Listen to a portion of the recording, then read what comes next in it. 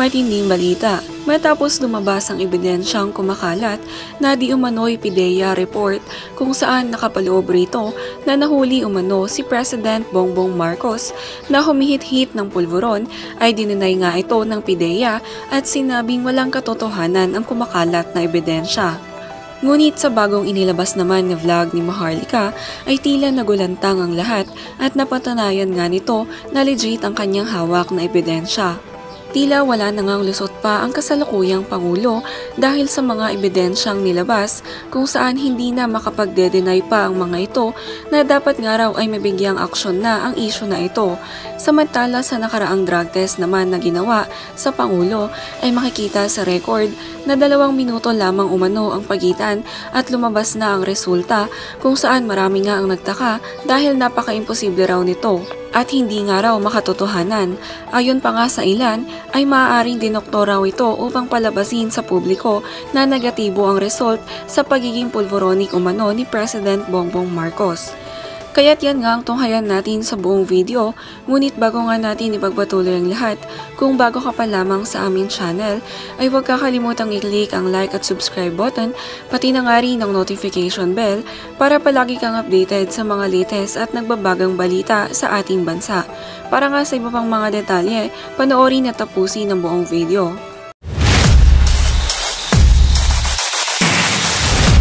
Asa ko mga hitad. Okay, pre-op na yan. Okay? Ang sabi dito, walang control number, di ba? Dated March 11, the next day na ito. Yung binasa ko kanina, yung memorandum is March, was March 10. Ang, sabi dito, Unit Office Intelligence and Investigation of Service, name of target, ayun na nga, pinangalan na natin yung target, and some unidentified male and female cohorts. Okay, specific area of operation, NCR, Makati City. Anong sabi dito? Summary of information. Dito nagka, ito yung mga pin, nilulusot ng mga dugyot ni Kuting ng bag, which is which daw ba talaga? 4C or 46C ang address. Okay. A confidential informant personally appeared before this office and reported that a group of showbiz and politically affluent personalities are frequently using illegal polvoron inside. Pasensya na, kailangan natin baguhin minsan yung mga terminology ha.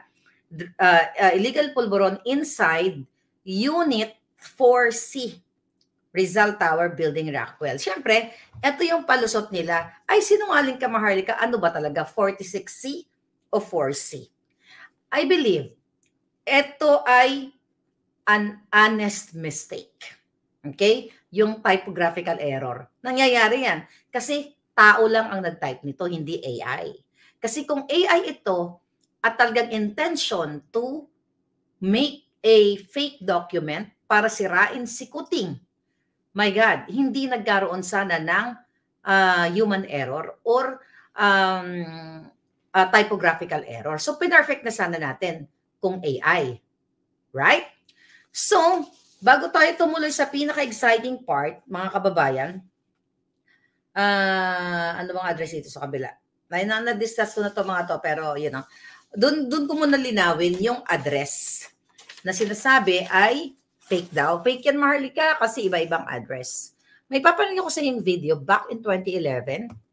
This video, magko-confirm sa inyo, matalas lang kasi talaga mata ko eh. Kahit malabo, matalas din ang mata ko paminsan-minsan. Okay? Here, darling. Okay, here's Listen to this.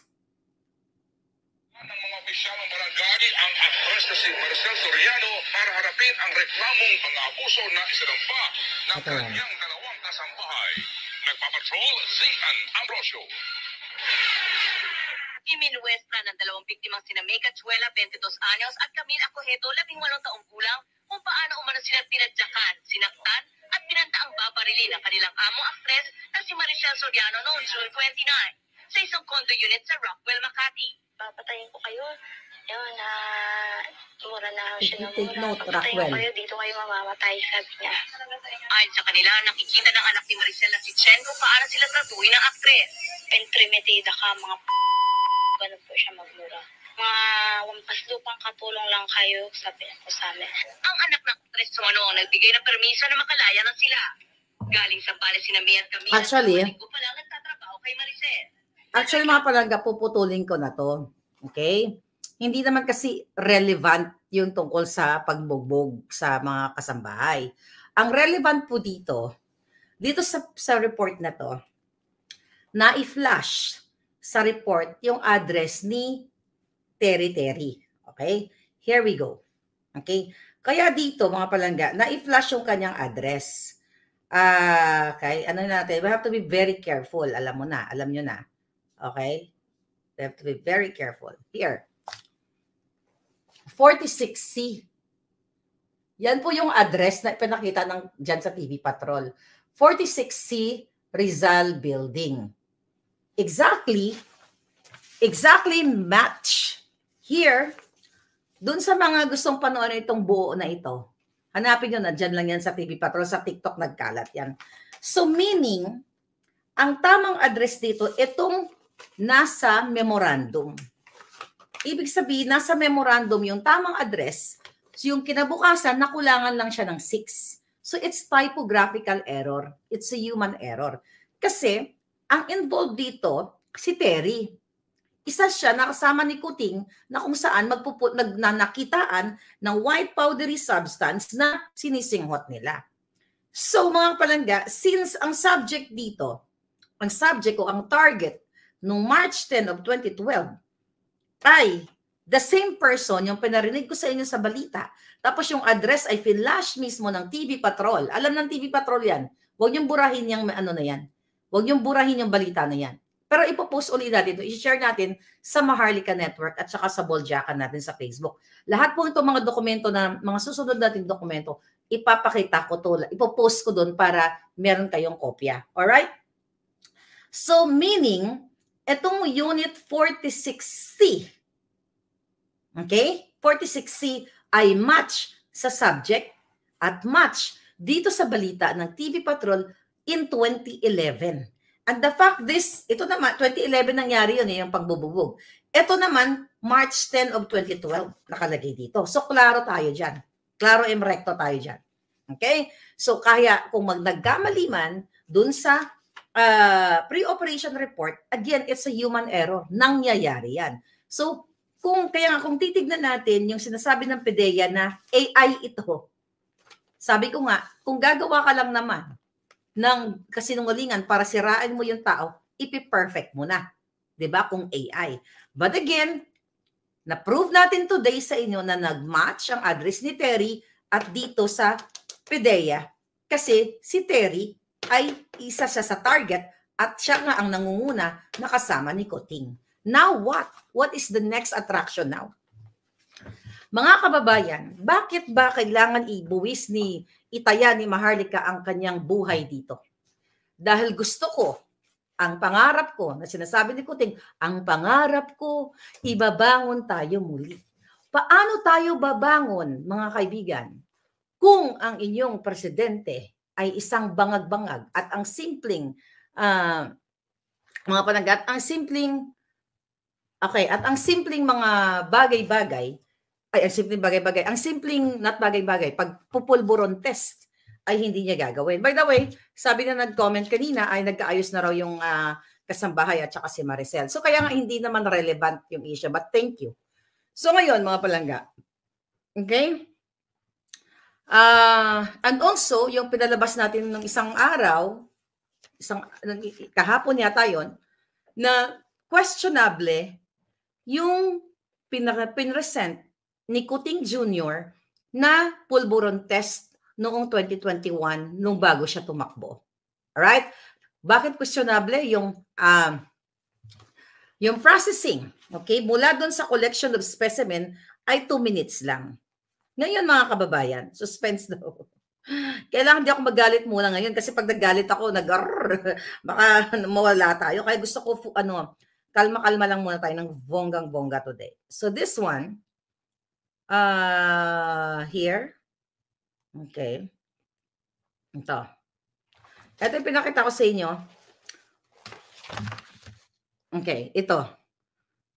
Ito yung actual, yung, yung transaction date kung saan si Kuting ay, yeah, ulitin natin ulit. Yan siya ay nagpa pulburon test.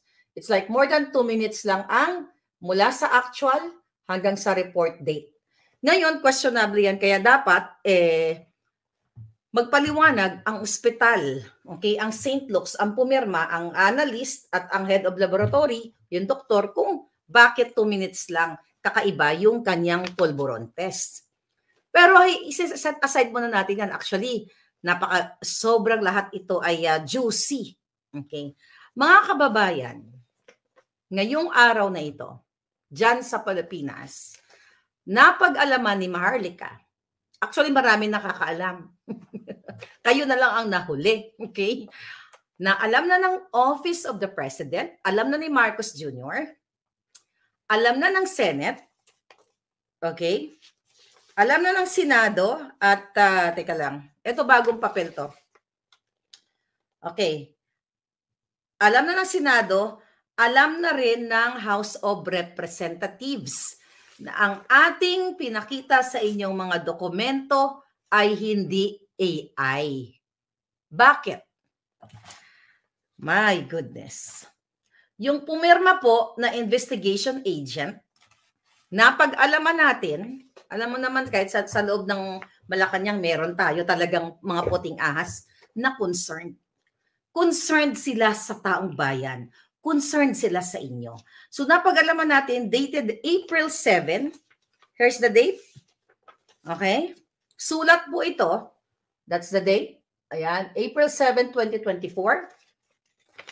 Ito po ay patotoo na indeed itong mga dokumentong pinakita natin and few days ago ay hindi po, dali, fold natin, ay hindi po AI.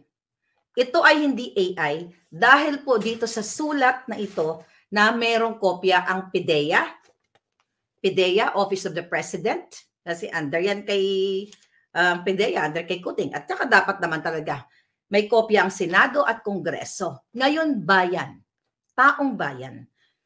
I think it's my duty bilang isang Pilipinong tumulo ang dugo o umagay ang dugo sa lupang sinilangan. Ito yata mission ko eh. Kasi ito'y pilit na ikukubli, itatago ng mga pangyarihang nasa gobyerno sa 115 million Filipinos para protektahan si Marcos Jr. sa kanyang kabangagan. Tama ba? Hindi ko pinangungunahan ng Kongreso. Kongreso, Senado, well, wala tayong aasahan sa Office of the President at PDEA kasi hawak nila yan sa leeg. But I still have sa Kongreso at Senado. Kasi I believe may konti pang natitirang matino-tino dyan.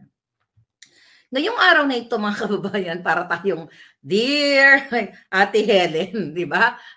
Talagang uh, kumakabog-kabog ang mga dibdib ninyo eh. Kasi gusto ko malumanay para manamnam natin ang istorya.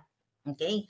Ngayong araw na ito mga hitad, ay sumulat ang pumirma nitong itong investigation agent na ito ay I believe sulat niya ito, okay? Sa Kongreso, Senado at Office of the President confirming na ang ipinakita ni Maharlika okay, ay legit, hindi AI. Here, I will read the letter. Actually, ito yan mga pala, pinrint ko lang ha. Okay? Ito po yung letter. To ang uh, address Undersecretary Moro Virgilio M. Lazo, Director General of PDEA. Okay? NIA, Northside Road, Barangay Pinyahan, Quezon City. So sinulatan siya, Dear Undersecretary Lazo. Yan. Greetings, sabi niya. Sir, the undersigned former investigation agent, which is dun sa uh, ano natin, sa papel natin na pinakita, is formally submitting himself to shed light on his alleged participation in the so-called PIDEA leaks concerning the documents presented by a certain Maharlika, a political blogger which this agency immediately debunks. Okay?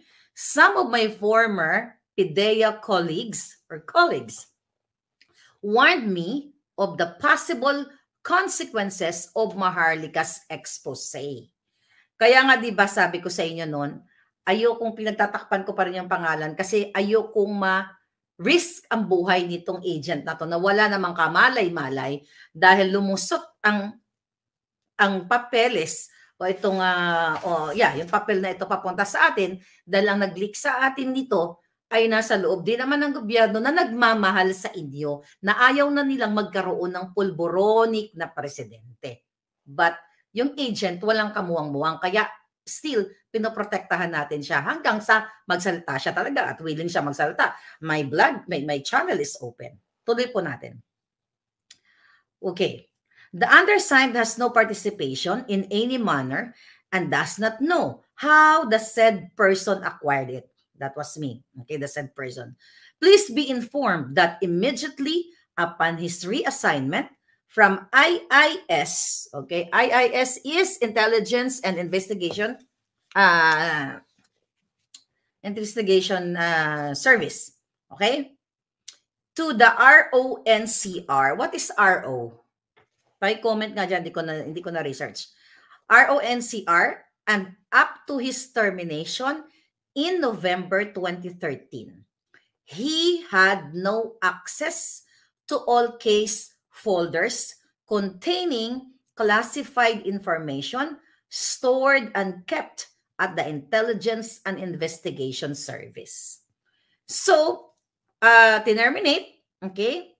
Eh, Tinerminate pala ito si uh, si Mr. Investigation Agent, okay? Kaya ini tapos doon sa department niya at inilipat dito sa RONCR, a regional office. Thank you, Michael. Thank you. Yes, thank you, thank you very much. Okay? Concerning the classified information relative to the document that the political blogger is allegedly referring to against actress Miss Soriano and politic politician Bongbong Marcos and others. It is common knowledge at the agency's compound that the undersigned, the agent, was the one who personally interviewed the said confidential informant on March 10, 2012.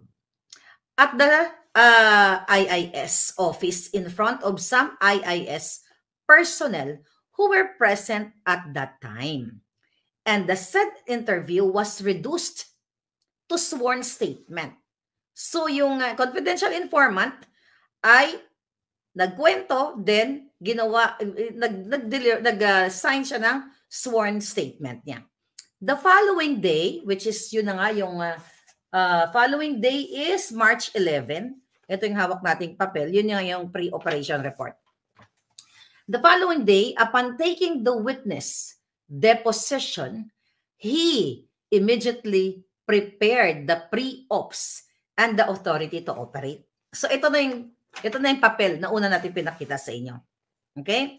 For possible casing and surveillance a process under the PIDEA manual operations before the conduct of anti-pulveron uh, operations. Okay? Unfortunately, the then deputy, listen to this, the then deputy director general for operations halted the supposed planned anti-drug operation for unknown reasons. So, pinigil. So, tama yung impormasyon natin.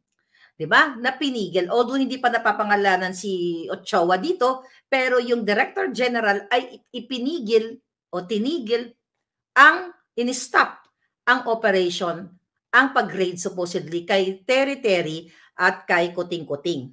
Okay? Ngayon, tuloy natin. Following the guidelines on document security, all the acquired classified documents were securely placed in a folder with a blue cover sheet. Confidential, containing, eto na tayo, kaya may, may title tayong ganyan, pictures of some personalities while using suspected illegal chuchu o illegal pulburon inside the suspected high-end condo unit at the sworn statement given by the uh, confidential informant including the memo dated March 10, 2012, addressed to Department of IIS. Ito yung sinasabi niya sa sulat, mga palangga. March 10, ito. Okay, yan yung sinasabi niyang sulat. Okay? Ngayon, mga palangga. Next page tayo. Okay, together with the pre-ops and authority to operate, were securely stored and kept at the IIS office. If all those classified documents were continuously spread to unauthorized persons, okay? Ako yun. Kasama ako doon. Eh, malay ko ba? Okay? Eh, gusto lang naman ng ating mga palangga na malaman yung lahat na nagpupulburon si Kuting. Okay? The highest possibilities that they could be used for personal and political reasons. But my reasons, my reason is not personal. It's for the people na makalaya sa bangag-bangag na administrasyong ito. Tuloy natin. Please spare me from this mess. During the late President Aquino's administration, I suffered greatly from this agency's former crooked chief. Yung chief na nag-halt nito, na nagputol nito. Actually, ma, uh, ma, ma-research nyo yan kung sino ang uh, chief nitong sinasabi niya. Diyan sa mga article na na-research na nakalimutan ko lang yung pangalan niya. Okay, tuloy. If warranted, I am more than willing to submit myself to any formal inquiry your office conducts. I am hoping that this letter will merit your utmost attention. Thank you and God bless. Sincerely, sincerely yours, lovingly yours, the agent. So, pakita ko po sa inyo, katunayan, kailangan malaman ng taong bayan, ito po ay may kopya na ang presidente ninyong kuting. May kopya na silang lahat. Ayan po yan. Okay? Ibig sabihin, nasa mga kamay ngayon ng presidente. Nasa mga kamay ng PDEA, pero yung dalawang yan, wala tayong aasahan dyan. Umasa tayo kahit papaano sa Congress and Senate na mga palangga na i-drag, iku, patawag nila tong taong ito once and for all para magkalinawaga, pagkalinaw. So meaning, dito sa letter na ito na natanggap nyo na, Congress at Senado, inunahan ko na kayo. Kasi ayoko nagsisinungaling kayo sa taong bayan. Mga palangga, inunahan na natin na totoo, legit, dahil sa dala ng uh, mga pan, pan, mga panindak din dito sa dito sa ano na to agent na ito minabuti niyang magsalita at gusto niyang magsabi sa taong bayan. Sabi ni Palangga, may nagsabi, Congress, wala na rin tayong asahan dyan, sabi ni Bolinggit. Uh, kaya nga palaga tignan natin. Pero ang tanong ko sa inyo, dyan sa letter na yan, binanggit niya na may letratong nagsisesyon si Koting na nagpupulburon. Kaya nga ang tanong ko, aantayin niyo pa bang makita? Well, siguro, eh, antayin niyo pang makita. Dapat lang na makita ang pulburon na nagsisingot si Kuting at ang video, nasa mga kamay niyo yon. At babantayan ninyo etong Kongreso at Senado. At I hope mapick up ito ng media mga what?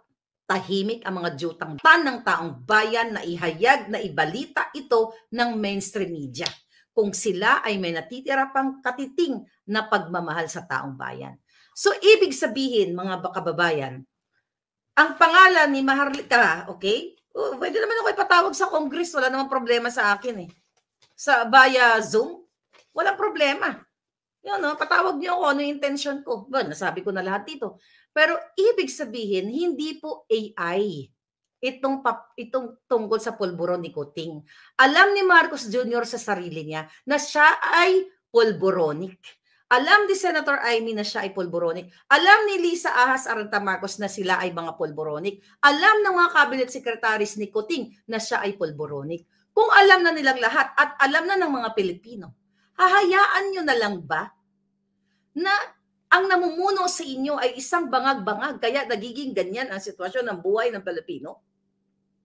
Again, mga kababayan, nakakagalit pero sabi ko kanina bago ko magba hindi ako magagalit, kailangan ko kailangan cool cool lang ako, chillax chillax ako kasi the end is near. The end is near. So, manawagan tayo. I think si Bato ang uh, chairperson diyan sa Dangerous Drug Chuchu Committee.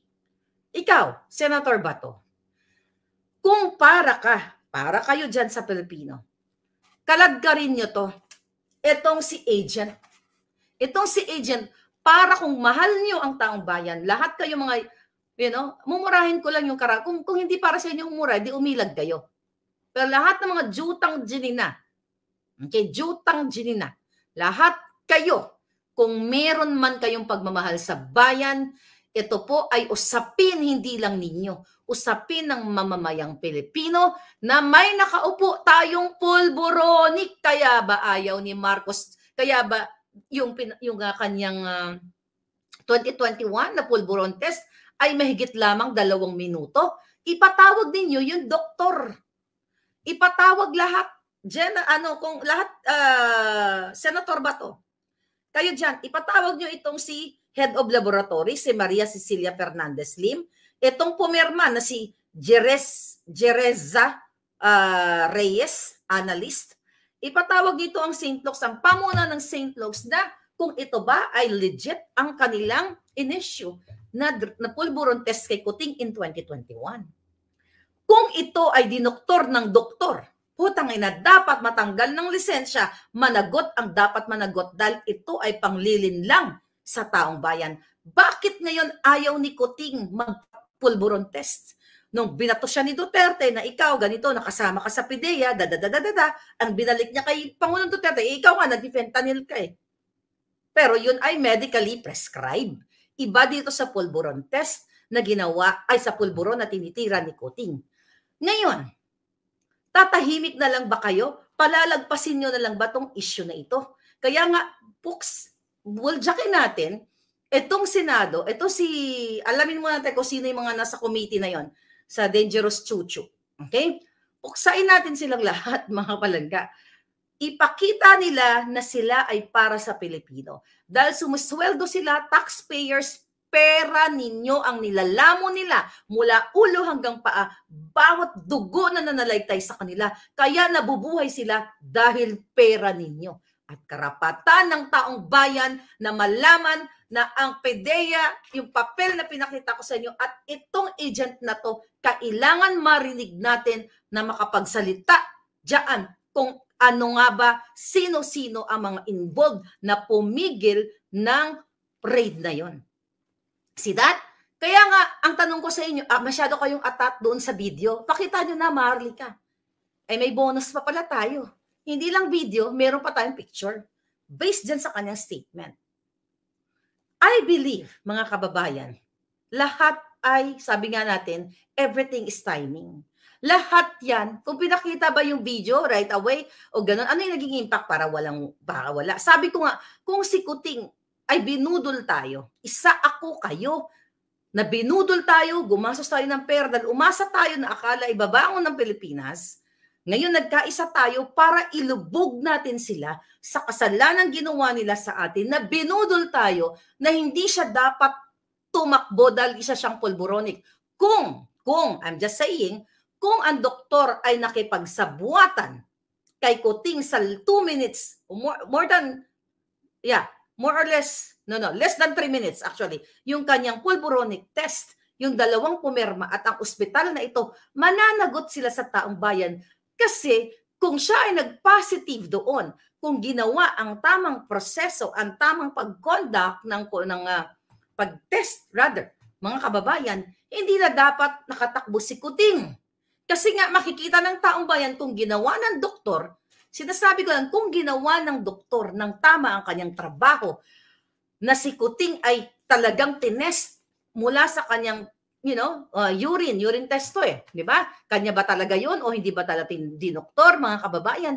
Ibig sabihin, kung nakipagsabuatan itong doktor at ang mga pumirma, sila ay kasamang managot sa bayan na dinoktor nila. Sila ay dapat doktor manggagamot, maglalathala ng mga tamang uh, result sa isang pasyente. Pero kung dinoktor nila, kailangan nilang magamot, ay magamot, managot sa taong bayan. Dahil sa kanilang pakikipagsabuatan, I'm not saying nakapagsabuatan sila, kung sila ay nakikipagsabuatan, mananagot sila sa inyo sa 115 or so million Filipinos na inilagay nila sa ganitong klasing kadiliman ang ating bansang Pilipinas na ngayon ay nga pasulong na tayo sa bakbakan sa bangbang-bang dyan sa West Philippine Sea kasi nga ang nagpapatakbo sa ating gobyerno ay isang mayroong diferensya sa jutak dahil bangag-bangag but actually hindi siya ang nagpapatakbo kundi si Lisa Ahas Satanas.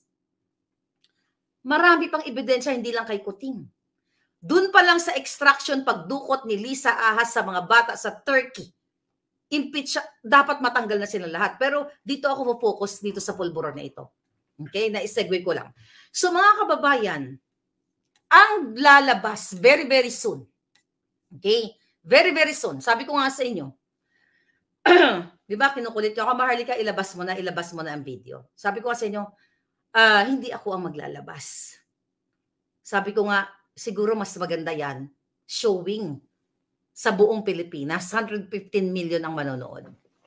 Okay?